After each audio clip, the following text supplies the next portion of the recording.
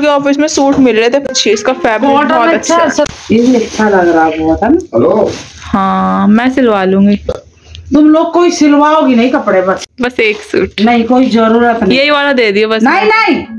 हाँ अम्मी चल। अच्छा लग रहा अम्मी यही तो गर्मी इतनी पड़ रही है। इसमें कितना अच्छा हाँ यही वाला ये मेरा है। और ले लेना अपने लिए दोनों। कितना सुंदर लग रहा है। हाँ ये सिलवा रहे थे दोनों में से कोई भी एक। मुस्कान का एक मेरा एक तेरा। तीन। तीन आएँगे तो तुम्हारे एक भी कपड़े नहीं तो मुस्कान और ले आएगी ना कल ले आएगी ना मुस्कान? हाँ। हाँ मैं बनवाऊँगी ये क्या भद्दा लग रहा है? तुमको लगती थी ये भी अच्छा है। ये तो यार सूट कितना अच्छा ये मैं सिलवाऊँगी पर। हाँ? तो ही सिलवा लेना। ये भी तो नहीं है बेटा। ये भी जब मैं उठा रही थी ये वाला कैसे मैंने कहा दे भाई? मस्त कमीज बनेगी बिल्कुल। ठीक है फ्रेंड्स तो यही कपड़े लेके आई थी मुस्कान। मुस्कान दुबली हो रही फिर। कौन? ये। मैं? हाँ। हाँ ना? हे फ्रेंड्स अस्सलाम वालेकुम welcome back to my channel दुबली में नहीं आप सब लोगों का स्वागत है। भी दुबली नहीं हुई तो टेंशन मत ले दुबली हो गई? नहीं। और क्या? नहीं हुई वाह। हो गई हूँ। मेरे को भी लग रहा है मैं शीशे में देख रही हूँ ना। को मैं सिलवाऊँगी। ये वाला तू सिलवा। प्यारा सा नहीं बनवा ले। ओके गाइस लेट्स स्लीप तो रात हो गई मैं अभी हम सो जाते हैं तो मैं ले लूँगी फिर। the next day. मैं अम्मी और अनीता आंटी गए थे कमला नगर मार्केट। वहाँ से हम लोगों को कुछ सामान लेना था तो वो ले लिया था। उसके बाद हम लोगों को बहुत तेज़ भूख लगने लगी थी तो हम लोग मैगडी गए। वहाँ से हम लोगों ने पनीर रैप लिया और ये सब हम लोग खा रहे थे। तो बहुत ही अच्छा था टेस्ट में। और ये हम लोगों ने जो है पल्पी ऑरेंज जूस लिया था। ये खा पी के हम घर निकल आए। हे फ्रेंड्स सलाम वालेकुम तबीयत थोड़ी ठीक नहीं है, इस वजह से व्लॉग नहीं आ पा रहा। बहुत दिन हो गए, तबीयत ख़राब है। आज मेडिसिन लेके आई हूँ डॉक्टर के यहाँ से। तो उन्होंने बताया है कि खून की कमी है, बहुत वीकनेस है, और खांसी की वजह से जो है लीवर में एसिड बन रहा है, बुखार है, खांसी, ज़ुकाम, ये सब है। ज़्यादा दिक्कत हो गई है, इसलिए कुछ शूट नहीं कर रही। अभी अकेले हूँ घर में, ज़्यादा क्या करूँ अकेले शूट करके? कुछ भी नहीं रहता करने के लिए मेरे पास। मेडिसिन दिखाऊँ कितनी सारी दी हैं? डॉक्टर ने मुझे दिखाती हूँ दिखाती हूँ। ये है मेडिसिन ये है खून की कमी पूरी करने की। ये है भूख लगने का सिरप इसमें है दवा। मेन खांसी जुकाम बुखार की है। खांसी का सिरप है। तो ये मेडिसिन है। ये बहुत बुरे लगते हैं मुझे सिरप खैर, अल्लाह शिफा दे बस। अभी बस कुछ नहीं, घर में बैठी हुई थी मैं, मैंने कहा आप लोगों को भी बता देती हूँ कि ब्लॉग क्यों नहीं आ रहा है। एक तो दुकान लग जाती है तो वो टाइम नहीं मिल पाता है। अभी तो फ़िलहाल फिर भी फ्री हूँ मैं, क्योंकि अम्मी ने मुलाजिमा रख ली है काम करने के लिए और वहाँ पे संभाल लेती हैं वो थोड़ा सा वो जो थोड़ा बहुत बनाना वनाना रहता है तो वो कर लेती, बाकी काम वगैरह वो कर लेती हैं। इतना लोड नहीं मेरे ऊपर अब काम का। वो अम्मी ने मेरे लिए इतना आराम कर दिया है। मैंने सोचा था कि अब मुलाजिमा हो गई तो टाइम टू टाइम व्लॉग डालूँगी, लेकिन आज काफ़ी दिन हो गए। पिछला व्लॉग डाला था ना, उससे, उस टाइम से तबीयत ख़राब है। बीच में थोड़ी ठीक हो गई थी, लेकिन तीन चार दिन से फिर से बहुत ज़्यादा ख़राब हो गई है। मुझे नहीं पता मेरे साथ क्या होता रहता है, क्यों तबीयत ख़राब होती रहती है। और टाइफाइड रह जाता है ना, मुझे तो टाइफाइड से फिर बिगड़ जाती है वो तबीयत मेरी।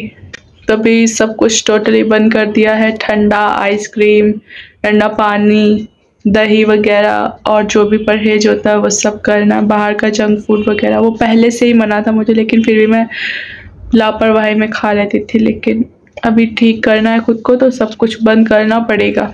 खुद की केयर भी बहुत ज़रूरी है तो वो करनी है।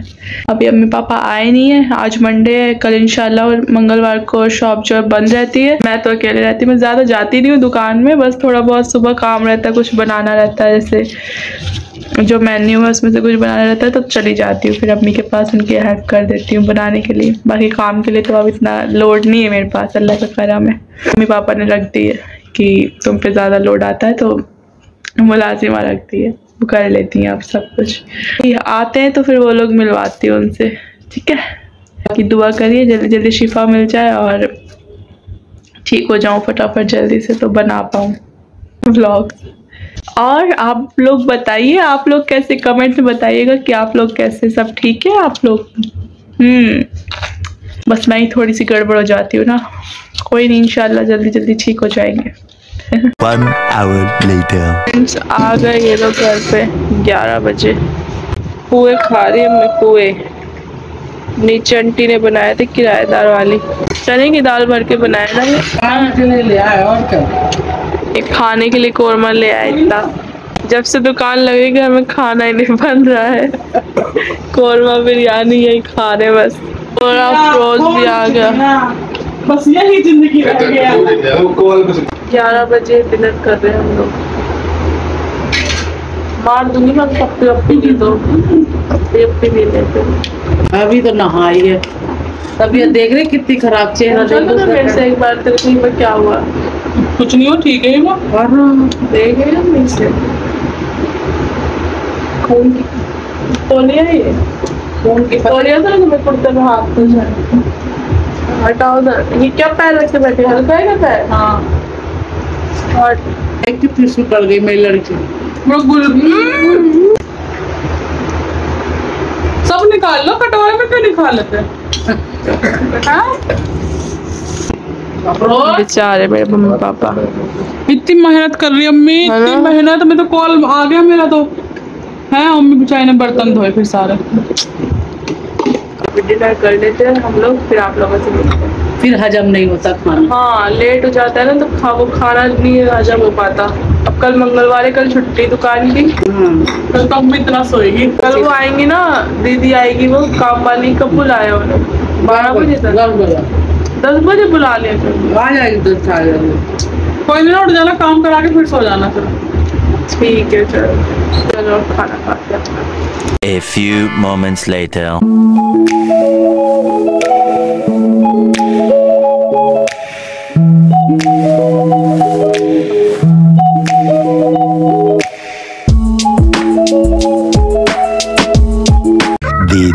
Day.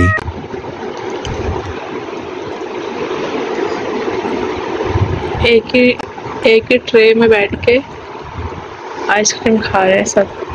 आधी खा ली है वैसे। साइडों से खत्म हो गई बीच की बची है।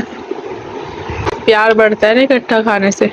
ले ले खा ले। क्या कर रहा बहुत ही अफरोज ऐसे नहीं होता है ठीक है। अफरोज। देख देख जा हो गया भाई ना ऐसे नहीं होता है।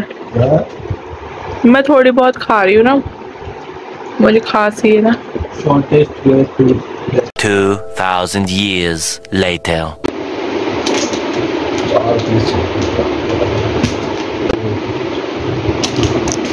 मुझसे देना दे दे यार सब नियत रखते मेरी चॉकलेट के ऊपर। आधी दे दे रहे। हाँ नहीं तो। ये लेके आई थी मेरे लिए सब ले ली सबने।